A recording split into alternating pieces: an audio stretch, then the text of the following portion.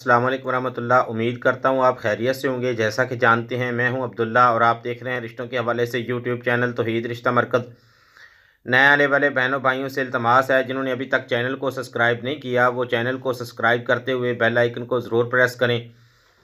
और जिन बहन भाइयों को रिश्ते की तलाश है और अच्छे रिश्ते नहीं मिल रहे तो अपने लिए रिश्ता सर्च कर रहे हैं और हकीकत में जो रिश्ता करना चाहते हैं, वो लोग मेरे साथ रहें। मुकम्मल वीडियो को देखा करें। ताकि आपको मज़ीद जो इनकी डिमांड, जो जो प्रोफ़ाइल, कंप्लीट डिटेल होती है, वो सारी की सारी आप तक पहुँच सके। तो इनकी पूरी प्रोफ़ाइल मैं स्क्रीन पे भी रख रहा हूँ, आप इसको पढ़ सकते हैं। तो मेरे पास ये एक कतर में सेटल, खुद मुख्तियार मुतल बहन का रिश्ता मौजूद है, नेशनैलिटी होल्डर हैं ये, और तीस साल इनकी उम्र है, तलाक हुई हुई है, बच्चे नहीं हैं बी एस आनर तालीम है गुजर फैमिली से ताल्लक है मसल कहल सुन्नत है, पाँच फिट छः इंच हाइट है।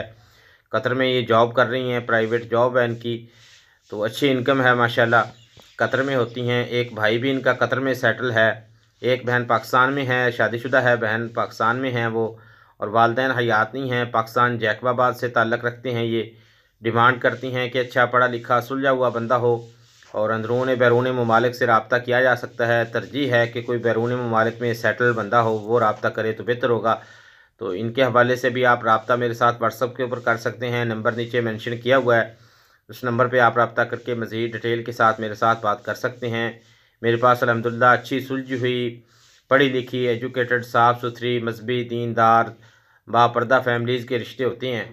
तो अच्छे रिश्तों के लिए हमारे चैनल को आप ज़रूर देखा करें। अल्लाह ताला हम सब के लिए आसानियाँ पैदा फरमाए। असल वरहमल वर्का